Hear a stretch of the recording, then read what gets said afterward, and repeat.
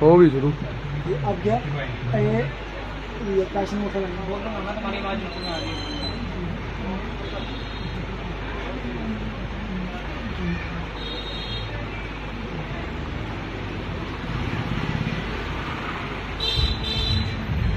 चलो बता